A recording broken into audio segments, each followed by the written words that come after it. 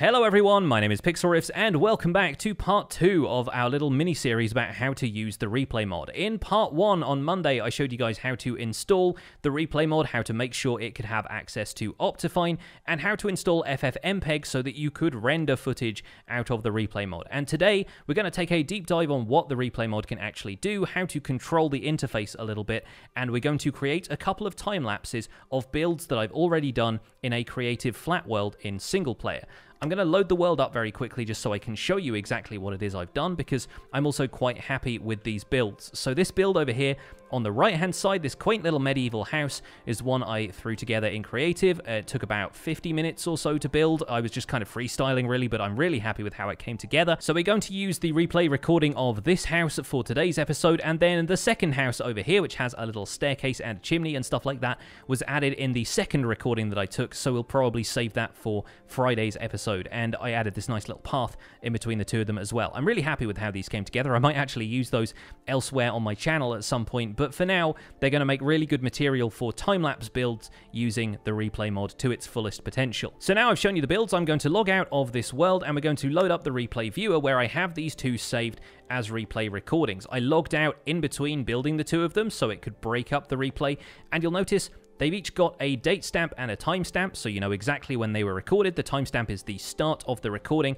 so I started recording this around 10 minutes past 2 in the afternoon, and I've renamed both of them. Normally, it will just generate a name with a date stamp and a timestamp in it, but since you already have that information here, you can click rename and just give it a name for the sake of your own organization. It kind of helps making sure that you know exactly what you're clicking on. So we're going to load up our first time lapse here. You'll notice that the oldest replay is always the lowest one down on the list. The newest replay is always at the top, so bear that in mind if you're confused about where to find some of the footage that you've recorded. We can just hit load once that's highlighted, and the first thing we're going to do is press T and then pause the replay over here. Pressing T is actually really important when you're using the replay mod. You'll end up pressing that T key on your keyboard quite a lot because what that does is it gives you control over the mouse again instead of using the mouse to move the camera around. So with the mouse freed up, you can move around the interface. You can click on stuff around here without it moving the camera and you being unable to reach any of the controls. If you want control of the camera, again, you just hit escape, and then, as you can see, I'm able to move the camera around freely, and I can focus on the player, although right now, I'm not actually building anything in the scene, so uh, we'll have to wait for me to start building some stuff. And to do that, I'm going to unpause the replay again, and we'll get a look at where I'm building in real time. I'm not exactly sure where I started building in this scene, because it's an empty creative flat world. I'm not sure quite which direction I decided to go, so we'll let it play for a few seconds here while I'm getting stuff out of the creative mode inventory, and once I start to zero in, there we go, I've zeroed in on a spot where I think I'm about to build something. There we go, I'm pretty sure it's going to start there, and so I can place my first keyframes. Let's take a quick look at the interface before I start talking about what keyframes are though. So for a start, on the top of the interface here, we have a timeline here, and that is how much time has elapsed in the scene. The replay I recorded was about 49 minutes long, 49 minutes and 30 seconds, there you go, and this timeline allows you to go through that footage and stop at any point throughout the footage. For example, if I click, let's say 10 minutes in, we'll go with 10 minutes and 3 seconds because it seems to snap to that number.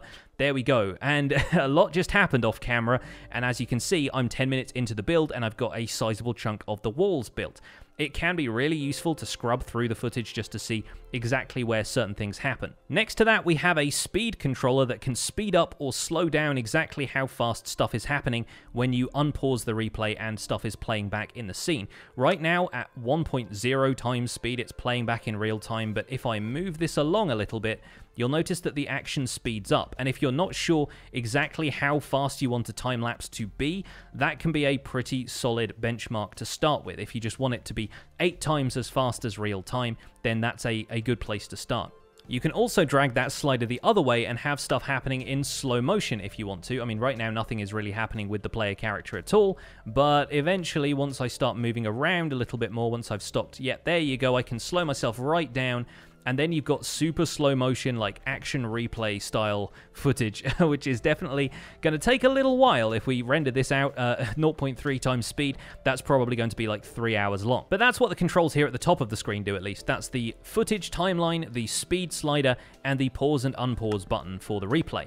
The timeline below this is where you're going to be placing your keyframes, and there are two different types of keyframes in the replay mod. There are position keyframes and time keyframes. The position keyframes control where the camera is in the scene when you're playing the scene back as it appears in the output replay mod footage, and the time keyframe controls when exactly the camera moves happen and when the footage starts and ends. So for example, if we kept the time keyframe that I've just placed, the footage would start roughly 12 minutes into the build, and so you'd be starting the video off by just seeing a half-built house already. That's not ideal, that's not exactly what we want, and I've not been particularly like cautious about where I've placed the camera keyframe here either. So what I'm going to do, as you'll see, these are both red right now. As the cursor is hovering over those keyframes, then it will turn red, and what you can do is remove the keyframes like so. And then we can wind it back to the start of the timeline. I think maybe about 20, 24 seconds in. Yep, there we go. I've started placing the first few blocks, and that's a much better place to start. Let's wind back to maybe 18. Okay, that's not looking too bad. Let's quickly hit play to make sure I know where I'm going. Fantastic. That will be a good place to start, around 20 seconds into the footage. So I'm going to place my first time keyframe there because I know I want the replay to start right at the beginning of the build when I haven't really built anything yet so that you can see every single block I place as part of the replay. I'm not entirely certain where I want the camera to be quite yet because I have no idea of the context. I want to make sure that I can see the entire wall that I'm building from a single camera perspective. So what I'm going to do is let the scene play out a little bit at a fast speed. Okay, yeah, so I was a little bit a little bit further away than I wanted to be. Let's take a look at where the wall ends up. Okay, I've built that section. Now I should probably build a section over on the left-hand side as well. And now that I know that that's roughly the area in which the wall is going to appear, I can set a position keyframe for the camera, let's say there. And this is where it's important to note that position keyframes and time keyframes are not the same thing, because now I've placed a position keyframe there, it's not going to start the footage two minutes in, it's actually going to start it back where I placed the first time keyframe, at about 20 seconds. Now let's fast forward to about 5 minutes through this build. Okay, so I've built a decent amount of it and I'm starting to work on this wall over here. It looks like that's all still within the field of view of the camera, so I don't need to move the camera along. I just need to decide how long I want this footage to take. So let's say I want the first 5 minutes of our footage to last maybe 20 seconds in the finished video. What I'm going to do is click on the 20 second marker on this timeline. I'm going to add a time keyframe there, and that's going to allow 5 minutes of our recorded footage to be played back over 20 seconds of the finished video. I'm going to need to add a second position keyframe here as well, so I'll probably just rotate the camera a little bit to point more towards what I'm building down here. Going to add a second position keyframe because it won't let you play back the footage until you have two keyframes of each type. It needs two position keyframes and two time keyframes because it needs to know what to do with the camera and how long to do it for. So in order to play back the footage, we can move the cursor back to the first point here on the timeline. I usually click and drag that because otherwise you end up clicking on the time keyframes and you can potentially remove them by mistake.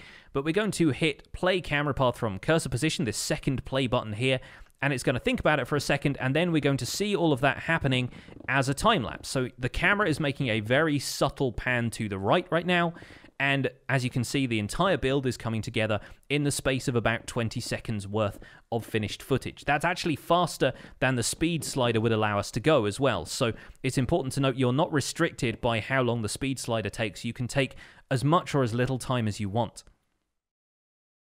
Maybe I want the camera move to be a little bit more dynamic than that, though. Maybe I want it to start over here and then curve around the outside of the building like this. So it ends up on this side, and the player is down there right now, but we'll worry about that in a minute.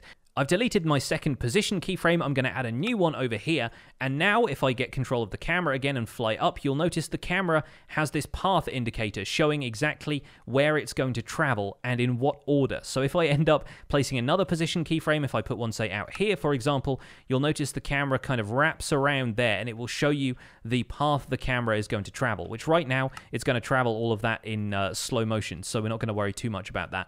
We're going to delete that position keyframe and come back to here. Let's play this back and see what the camera move looks like.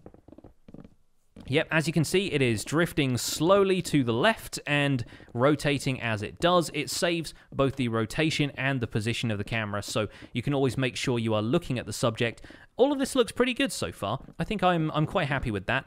The one problem now, though, is that I'm going to end up building a door at the end of the build on the right-hand side, and I'm no longer in position to do that. So what I'm going to try and do is a nifty piece of slow motion. I'm going to move the timeline on a very small amount because replay mod doesn't like you to go backwards in time. And let's say I want this camera move to take, I don't know, four seconds. I want it to be quite quick. I want the camera to be able to move around to this position where the player is hanging out.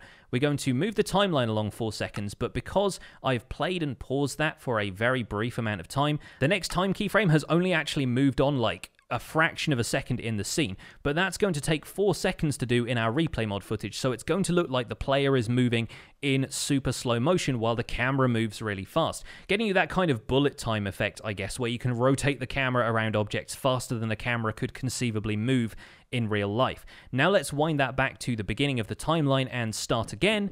And you'll notice that this whole section moves about the same pace as it did before. We don't really have any kind of difference here. And then the player pauses, the camera swooshes around to this side, and we place maybe one block in the space of the time it took to make that camera move. And then from here, we can move on maybe another five minutes. Whoa, okay, there's a lot of stuff there now.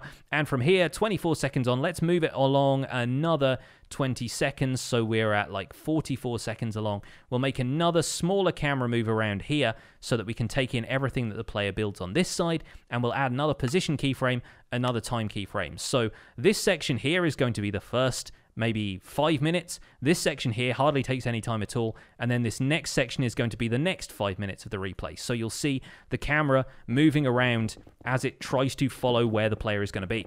That's the first little stretch of building over. We come to the point where the camera does its move. There we go, moving around the player in slow motion, and then fast pace resumes. And that's actually quite stylish if you want to do some of your replays that way. It can really add this really interesting sense of manipulation of time as you go. So when I do my time lapses, I don't tend to do stuff like that all that much. I don't tend to manipulate time a great deal and slow things down and speed things up again. What I tend to do is pick a scale and stick to it. So if I have five minutes worth of footage. I want it to happen over 10 seconds.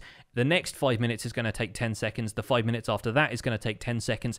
And it lends a bit of consistency to the scene. Also helps because a lot of the time lapses I do tend to be quite long builds. So I don't want to be slowing time down and speeding it up again if the build overall took like two or three hours to make. Because then more than likely I've got two or three hours worth of footage that I want to squeeze into a segment of maybe five minutes maximum in a video where I've got a time lapse involved. But it's really up to you how you want to play with that. If you want to create more cinematic stuff where players are running away from an explosion in slow motion or something like that, then it's totally up to you to do that. Now, I've ended up with a bunch of keyframes and camera moves which were fun to make, but I don't really want all of them anymore. I want to get rid of these. And I'm going to hit T, I'm going to open up the expanded menu options from down here, and I'm going to click clear keyframes. I normally do this by clicking around because if I hit C by accident, I don't want to accidentally clear all of the stuff I've done. So most of the time, I will end up using this interface here. There are a bunch of other options here, by the way, some of which we are going to cover today. Others we will end up covering in Friday's episode. So I'm going to click clear. We're going to clear all the keyframes. Obviously, it gives you a confirmation before you do that because it's uh, potentially deleting a lot of work. So if we click yes, you'll notice all the keyframes clear up off the timeline. The camera path here is gone, and we get to start from scratch. So before we wind our footage back to that 20 second mark where the build begins, I actually want to mess around a little bit with the camera angle and where I'm going to start the footage. Because remember, I can set a position keyframe here before I go back and set the time keyframe. So I can make camera moves based on where the build actually exists, where the build actually ends up, instead of having to worry about like just winging it from the build not being there at all. And there's some interesting stuff you can do at this point. Now, take note that if you open up your options and you mess with the video settings and stuff here, all of this stuff applies to the replay mod footage you're looking at. It doesn't necessarily have to have applied to when you were recording the replay in the first place. So I was recording this entire thing with my field of view set to 80, but if I zoom in with that now, if I set that to 50, you can actually get a little bit more of a detailed look at your build. And this doesn't actually affect the recording or the replay in any way. Even if I save the replay now, I can always set different graphics options if I want to. I could even remove stuff like smooth lighting and add dynamic lights if I wanted to. And that also includes adding shaders. So if I want to start messing around with this scene, having shaders, even though I didn't build it with shaders on at the time, I can add shaders in after the fact, which allows you to not worry too much about how hard your computer is struggling with shaders. If you are setting up a bunch of camera moves and stuff in replay mod, you can add the shaders in at the end and have the footage rendered with shaders, which means it doesn't have to process the shader stuff in real time and it maybe balances out the load on your GPU. At the very least, it will just take as much time as it needs to to render the footage instead of just having frame rate while you're actually playing the game. So I'm going to keep these shaders on for the rest of the tutorial and it's something I would do more often in my survival guide world because I can't pause the day-night cycle there like I have done in this creative world and so you can get a sense of how fast the time lapse is happening by how the shadows move and when the sun rises and when night falls and that kind of stuff. So that can really give you a sense of time passing. Unfortunately, as I said, I did pause the day-night cycle here so we don't get any of those lovely shadows moving, but once again, we can just move the camera around in the scene. We can move it back to, let's say, I think it was around 18 seconds in. As long as the build hasn't started yet, that's fine. We can add a time keyframe, and then we can move it along to, let's say, once again, we'll go back to five minutes. I'm going to rotate the camera around the build like so. It's going to end up about there, and we're going to make that happen over 10 seconds. So I'm going to add my position keyframe there, and my time keyframe there. I also want to add a little bit of a curve to the camera path because right now, by the way, the camera path will render kind of weirdly if you're using shaders, but don't worry too much about that. If you look at the camera path, it is very straight right now, and replay mod will start to smooth out curves in your camera moves once you have more than two position keyframes on the timeline. So in order to basically make it do that before it reaches that second point, I'm going to move the camera back to about here on, on this timeline so you can kind of see where the camera position is, and I'm going to add another position keyframe. Let's zoom it in a little bit and let's make it about there, like so. And as you'll see when we go back out here, that now takes place on a bit of a subtle curve. So if I play this back in the scene, you'll notice that, yep, we curve outwards a little bit. You get to see a little bit of a higher angle, a bit more of the roof as it's coming together, and then it swoops back down again a little bit as we start to work on the stuff around this side. So I'm going to work my way through this scene, moving in 5 minute increments, and each one of those is going to take 10 seconds. So I'll place one at the 20 second mark there, and once we've got to this point, I do I don't want to move around too far because I want to make sure that the camera can still take in building the door around here, so that's actually not going to take too long. I'm going to add a position keyframe there. I'm not going to add a time keyframe because, in theory, what will happen if I get the maths right, if I end up just moving it along five minutes along the timeline, 10 seconds along this timeline here, and I place a time keyframe at the end, it's all going to happen in the same amount of time as if I'd placed time keyframes all the way along because mathematically it works out that way. So let's move this along another five minutes like so, and let's see what gets built there. Okay, so we built a little bit around the back there, but what the really, the main event is back around here again. So I think what I'll do is I'll come up a little higher so that maybe you can see that back wall being built, but then I will show this section here. Let's add a position keyframe along there on that timeline, and let's move that along another five minutes. So we're at 20 minutes in. Okay, great. Now this house is really coming together. There's more stuff happening on the back and sides,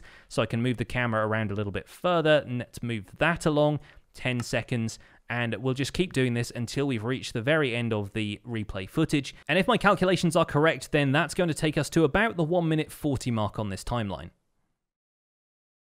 Okay, we finished up placing our keyframes along here. We did reach 1 minute 40 at the 49 minute mark over there. And let's see what that looks like when we play it back, because I have a feeling a couple of these camera moves are not going to turn out quite as smooth as we wanted them to, and there's some stuff we can do about that. So, this is the start of the footage. It's going to pan out a little bit, very cool. It's going to come around the side of the building here, and yep, there we go. We can see the doorway coming into shape, so that's perfect. That's actually been timed really, really well.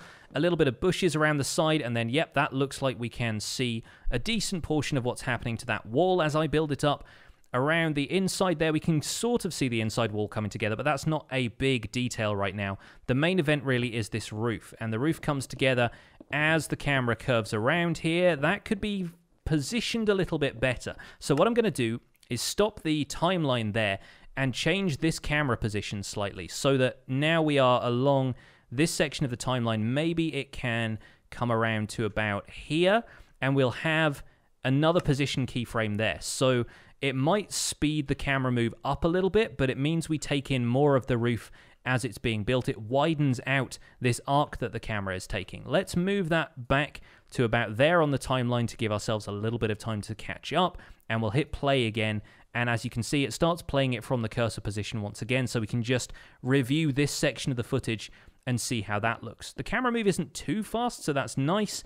The camera gets a little bit further away so we can see more of the roof. The second move is a little bit faster, but that's not a big deal. Great, okay. The rest of this is looking fine. I was a little bit concerned that we wouldn't get to see all that much of the detail that's going into some of the back there, but the main event really is that angled slope of the roof at the front, which I wanted to catch from the front of the building. So that's yeah, that's looking pretty good so far. Now the camera is going to start to drift back around because this is the section where I start working on some detail on the back of the house, and yeah, okay, that seems to be catching up okay. That's that's good. That's good. The one I'm concerned about is the very last camera move because I wanted to catch the back of the house because that was really the last thing I built, but I also want to have the camera move around to get a full view of the front of the house because that's really where I wanted the footage to end. And yep, okay, right there it is. the build is basically entirely going off screen. So that section there is somewhere I really want to add in a slightly wider angle. Yeah, there you see the, the camera on this path is basically going straight over the roof there, like that, and you're not seeing half of the build when I do that. So instead, I'll pull it out to about, let's say, here, like so, and that's, once again, it's going to speed up the camera path a little bit, but it should be okay. Let's wind that back once again, take a look at where the camera is playing. I have slightly better feelings about this. Yep, okay, we can see more of the build in context. That's great. That's great. It pans around as I finish the back part of the house. Now, I think I have encountered a bit of a bug here where I clicked at the very end of the timeline and a replay mod did not move me right to the end of the timeline. So I'm going to have to be a little bit careful about where I click. Okay, that looks like it's roughly the end. So we do need to move that last time keyframe and replace that to make sure that we are getting right to the very end of the build. And the lucky thing is here, we actually have a couple of seconds right at the end to work with. So I'm going to unpause the replay here. Everything is moving at normal speed because the speed slider is still set to 1. And I'm going to make a final sweeping camera move that allows us to take in the entirety of the build in real time before the footage completely ends. And I think that's where we're going to wrap that footage up. So let me quickly take a look at that and I'll show you the difference in speed when it happens. Because obviously this section here is all happening in time-lapse form. Our camera makes its sweeping turn around the outside here. We end up looking at the front of the build and then once all of the action slows down, there we go. The player gets slowed right the way down, just floating around the scene here, and we get to take a look at the house in all its glory with those lovely shaders. Great.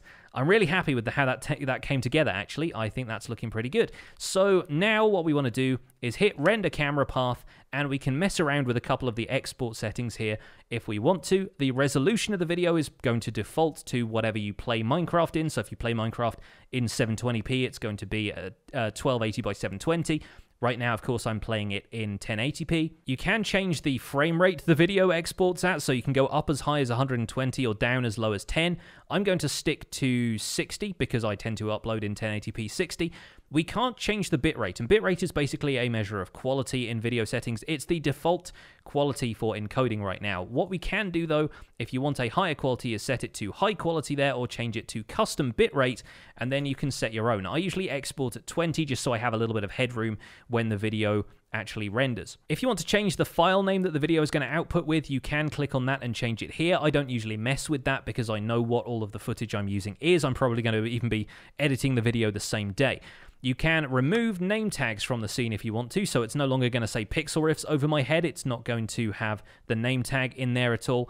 And you can do a little bit of advanced stuff here that I'm not really going to mention because I don't really use it at all in my videos. You can add a little bit of anti-aliasing if you want to to make things look a little bit smoother, but that's really not going to mean all that much in the grand scheme of things. Now we're going to hit render, and my computer is going to be tied up rendering this for a little while. If we hit the preview, you will see that what we're seeing is the rendered output of the footage. My player character is still moving around in the scene at super speed, building this entire thing in the time lapse. And if we close the preview, you'll notice the, the time it's going to take drops down a little bit because it's not having to render the individual frames of it right in front of us. So that is how you set up a replay mods time lapse. Hopefully that was easy enough for you guys to follow. I'm going to hop back into the scene in a minute to show you guys a little bit more stuff before we wrap up today's video. But first, I think we'll wait for this to render and then I'll put the footage right there into the video to show you guys the finished product.